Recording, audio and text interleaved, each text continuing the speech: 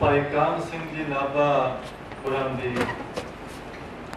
ਸਾਹਿਤ ਜਗਤ ਨੂੰ ਜੋ ਦੇਣ ਹੈ, ਜੋ ਪੰਜਾਬੀ ਭਾਸ਼ਾ ਨੂੰ ਦੇਣ ਹੈ, ਇਹਦੇ ਉੱਤੇ ਅਸੀਂ ਵਿਚਾਰ ਚਰਚਾ ਕਰਦੇ ਰਹੇ ਹਾਂ। ਔਰ ਮੁੱਢਲੀ ਚਰਚਾ ਵਿੱਚ ਉਹ ਵਿਦਵਾਨ ਸ਼ਾਮਲ ਸਨ, ਜਿਹੜੇ ਭਾਈ ਕਾਨ ਸਿੰਘ ਨਾਭਾ ਦੇ ਯੁੱਗ ਦੇ ਨੇੜੇ ਤੇੜੇ ਦੇ ਵਿਦਵਾਨ ਯਾਨੀ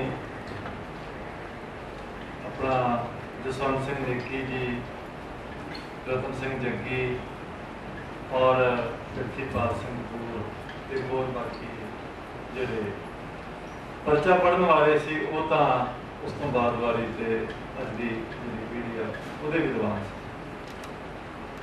ਅਸਲ 'ਚ ਭਾਈ ਕਾਨ ਸਿੰਘ ਨਾਭਾ ਨੂੰ ਇੱਕਾ ਦੁੱਕਾ ਪ੍ਰਾਪਤੀਆਂ ਕਰਕੇ ਯਾਦ ਨਹੀਂ ਕੀਤਾ ਜਾ ਰਿਹਾ। ਉਹਨਾਂ ਦੀ ਦੇਣ ਜਿਹੜੀ ਆ ਬਹੁਤ ਵਿਸ਼ਾਲ ਹੈ ਤੇ ਬਹੁਤ ਪੱਕੀ ਹੈ। ਇਸ ਦੇ ਹੋਰ ਕਿਹੜੇ ਕਿਹੜੇ ਪੱਖ ਨੇ, ਹੋਰ ਕਿਹੜੇ ਕਿਹੜੇ ਵਿਸਾਰ ਨੇ? ਮਹਾਨ ਕੋਸ਼ ਦੀ ਰਚਨਾ ਉਹਨਾਂ ਨੇ ਕੀਤੀ। ਗੁਰਮਤ ਚਿੰਤਨ ਦੇ ਨਾਲ ਸੰਬੰਧਿਤ ਪੁਸਤਕਾਂ ਵੀ ਉਹਨਾਂ ਨੇ ਰਚਨਾ ਕੀਤੀ। ਔਰ ਗੁਰਬਾਣੀ ਦੇ ਵਿੱਚ ਜਿਹੜੇ ਸ਼ਬਦ ਤੇ ਜਿਹੜੇ ਅਲੰਕਾਰ ਵਰਤੇ ਗਏ ਨੇ, ਉਹਨਾਂ ਦੇ ਸੰਬੰਧੀ ਪੁਸਤਕਾਂ ਲਿਖੀਆਂ। ਤੇ ਨਾਲ ਨਾਲ ਕਾਵ ਰਚਨਾ ਵੀ ਕੀਤੀ।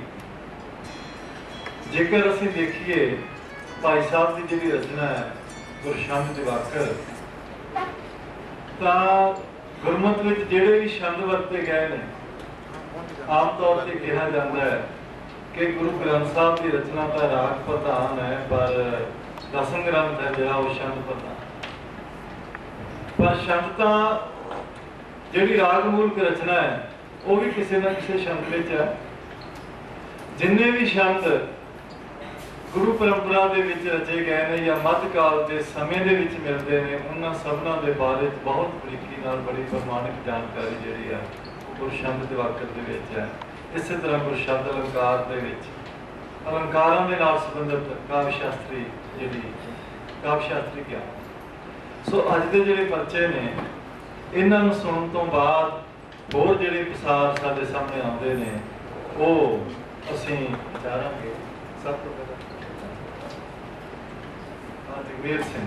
ਸਭ ਤੋਂ ਪਹਿਲਾਂ ਮੈਂ ਜਗਵੀਰ ਸਿੰਘ ਹੋਰਾਂ ਨੂੰ ਬੇਨਤੀ ਕਰਦਾ ਕਿ ਉਹ ਆਪਣਾ ਪਰਚਾ ਜਿਹੜਾ, ਉਹ ਪੇਸ਼ ਕਰ ਜਗਵੀਰ ਸਿੰਘ।